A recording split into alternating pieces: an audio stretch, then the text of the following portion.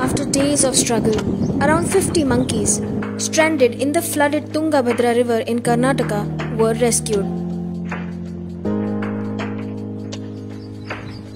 When the initial plan of using rescue boats and ropes did not work, a 25 member team from the forest and fire departments put a rope ladder across the river to help the monkeys reach the riverbank.